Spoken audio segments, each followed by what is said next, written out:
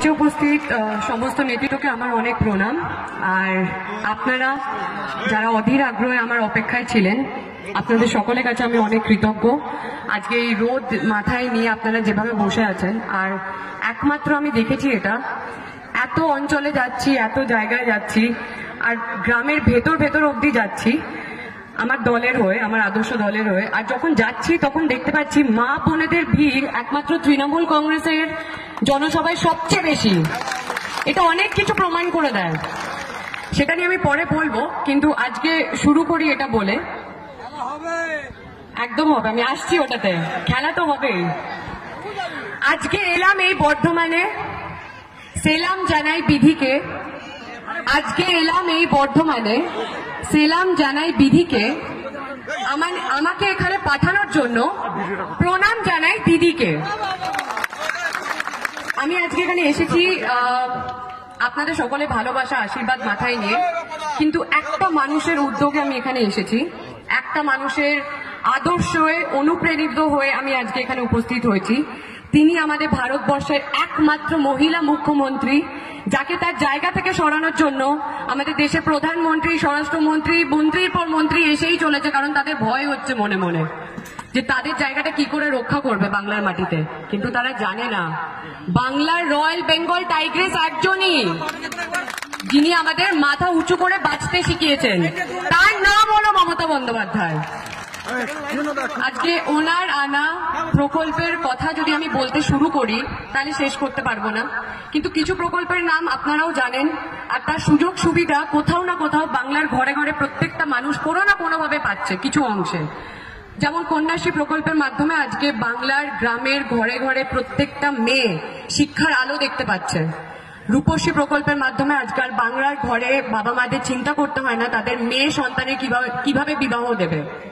আপনি সমবেধি বলুন, গতিধারা বলুন, দুয়ারে সরকার বলুন, বিনামূল্যে রাশন বলুন, মা প্রকল্প বলুন যা কিছুদিন আগে চালু হয়েছে, যেখানে আমাদের রাজ্য থেকে রাজ্য সরকার পাঁচ টাকা মূল্যে আপনাদের পরিপূর্ণ একটা মিল দিচ্ছে। এটা মহানগরে চালু হয়ে গেছে আর অন্যান্য অঞ্চলেও খুব তাড়াতাড়ি শুরু হয়ে যাবে।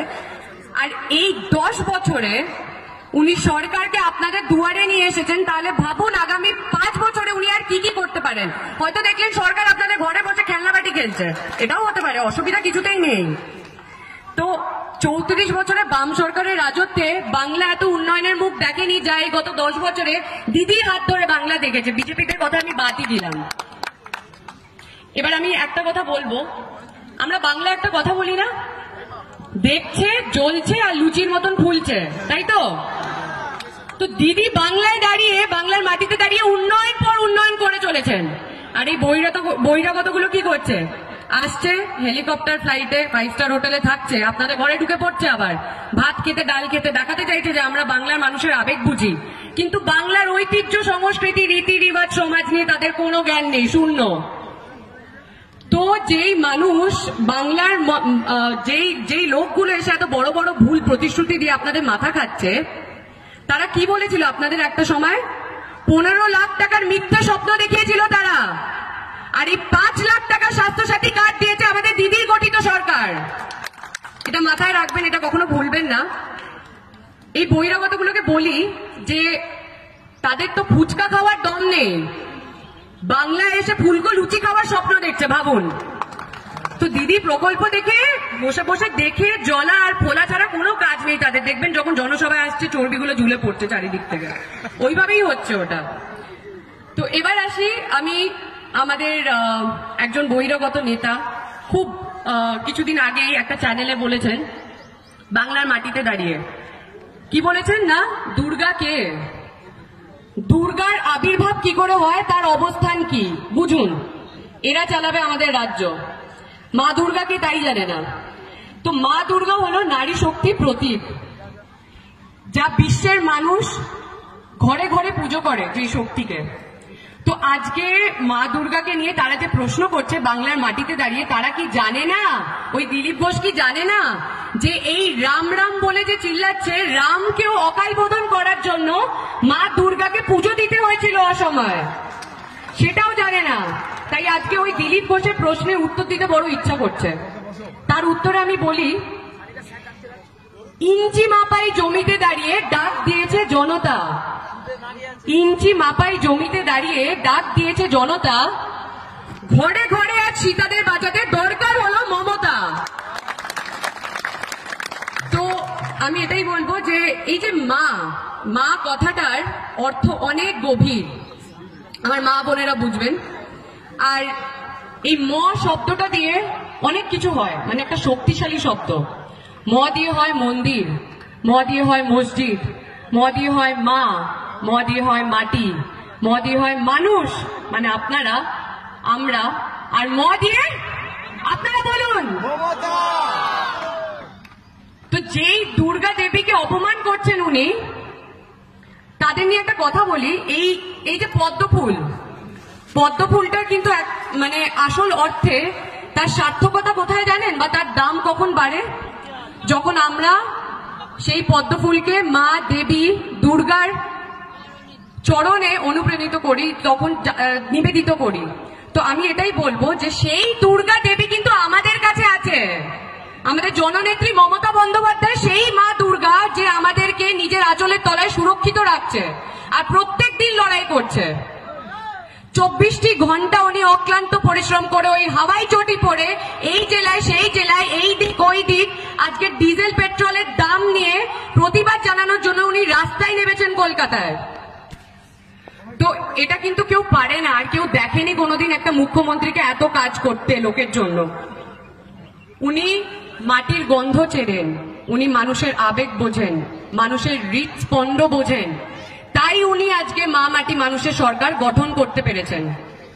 আমরা ধর্মের নামে রাজনীতিতে বিশ্বাসী নই। আমরা নিন্দনীয় রাজনীতি করি না। আমরা বাংলাকে গুজরাট হতে দেবো না। আমরা বাংলাকে সোনার বাংলাই রাখব। তাই আপনাদের সকলের কাছে অনুরোধ করব যে আপনারা দিদির হাত শক্ত করুন।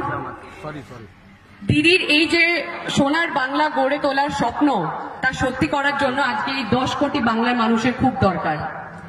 বাংলার মাটিকে আঁকড়ে ধরে লড়াই করার সময় এসে গেছে।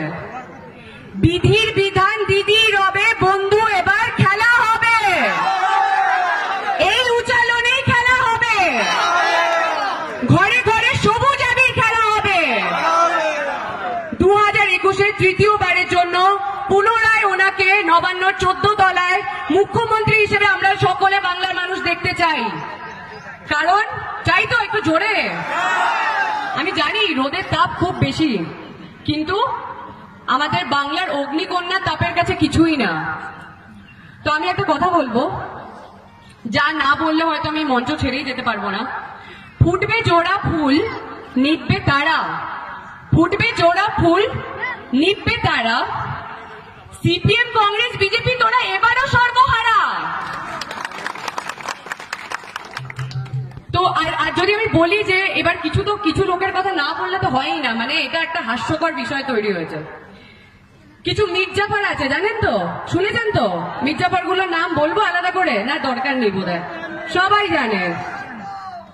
ওখানে জানেন কি হচ্ছে? ওই বহিরাগতগুলো দলের যে গিয়ে নাম লিখিয়েছে এই দশ বছর সরকারের দেওয়া সমস্ত ক্ষমতা, চেয়ারম্যান হলেন, মন্ত্রিত্ব পেলেন, সমস্ত ক্ষমতা চুষে নিলেন সরকারের থেকে।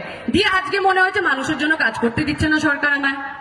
তাহলে এই দশ বছর কি বন মানুষের জন্য কাজ করছিলেন আপনারা? তো আমি এটাই বলব যে, এই যে মানুষ মানুষ করে চিল্লাচ্ছে, আগে বাংলা সংস্কৃতিকে বোঝো, আগে বাংলার ঐতিহ্য নিয়ে কিছু জানো, বাঙালিদের আবেগ বোঝো। বাঙালিদের মধ্যে হিন্দু, মুসলমান সবাই ভাই ভাই। কিন্তু এরা কি করছে? এরা ঘরে ঘরে ঢুকে বিভেদ বাঁধানোর চেষ্টা করছে। আর এরা রাজত্বে এলে দেখবেন, ঘরে ঘরে সব এই মা বোনেদের আমি দেখতে পাবো মানে আমাদের সকলের খালি ডিভোর্স পেপারে সই হচ্ছে খালি। কারণ এরা অত্যাচারী দল, ভণ্ড দল। এরা আমাদের পবিত্র গঙ্গা, মাননীয় জননেত্রী মমতা বন্দ্যোপাধ্যায়কে কালিমা লিপ্ত করার চেষ্টা করছে। কিন্তু ভুলে গেছে, গঙ্গা সবসময় পবিত্রই থাকে। তাকে কাদা চিটিও কালো করা যায় না। তাই লোকসভা ভোটে তো এরা অনেক গুল গুল দিয়েছিল, তাই তো? কিন্তু ওই ছাপ্পান্ন ইঞ্চি ছাতির ওপরই এবার ফুটবে জোড়া ফুল। দেখে নেবেন। তাই যাওয়ার আগে এটাই বলব। আপনারা সকলে বলুন দু হাজার একুশে কে? এখানে মা বোনেরা একসাথে দু হাজার একুশে কে? দিদি, এইটুকু এইটুকু? এ কি আওয়াজের জোর কোথায়? দু হাজার একুশে কে? তাই ভারতীয় জনতা পার্টিকে বলি, যতই নাড়ো কল কাঠি নবান্ন এবারও হাওয়াই চটি। জয় হিন্দ, জয় বাংলা, জয় মমতা বন্দ্যোপাধ্যায়, জয় অভিষেক বন্দ্যোপাধ্যায় জয় মামাটি মানুষ। আপনারা সকলে দিদির হাত শক্ত করুন, দিদির সৈনিক হিসেবে, দিদির কান্ডারি হিসেবে আমি আজকে এখানে এসেছি।